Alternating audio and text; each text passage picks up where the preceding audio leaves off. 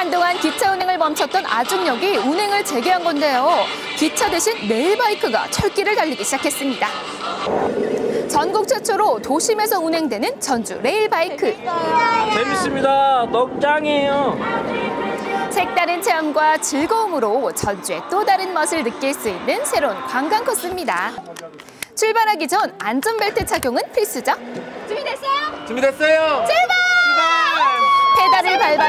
밟아야 움직이는 레일 바이크의 매력.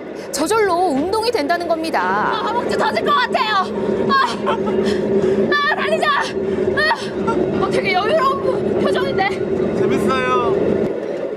아중역에서 민간공원까지 1.6km의 구간을 달리다 보면요. 두 개의 터널을 만나게 이제 터널 되는데요. 진입한다. 와 3D 정도로 화려하게 꾸며진 터널이 마치 다른 세상으로 안내하는 것 같은 착각마저 들게 만듭니다.